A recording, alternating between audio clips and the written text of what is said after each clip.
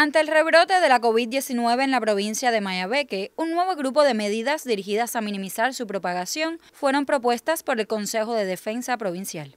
Entre ellas se destaca retomar las pesquisas activas realizadas por estudiantes de medicina, brigadistas sanitarios y enfermeras, con el objetivo de identificar de manera segura los nuevos casos positivos. Se ha logrado que la pesquisa se organice desde el consultorio y no desde los policlínicos.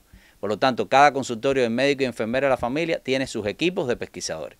Estos pesquisadores tienen población fija, con nombre y apellido y número de casa, los cuales deben pesquisar durante toda la semana, todos los días, incluido sábado y domingo. Estas investigaciones se intensifican en los municipios de Jaruco, Guines y Quibicán con transmisión autóctona limitada. Las pesquisas se realizan diariamente entre las personas vulnerables en centros de trabajo, escuelas y comunidades. La pesquisa virtual es muy fácil, es sencilla, no necesita ni siquiera tener eh, datos móviles porque no consume, es decir, no consume los datos que usted tiene en el celular. Es gratuito, por lo tanto usted activa los datos móviles y usted se autopesquisa.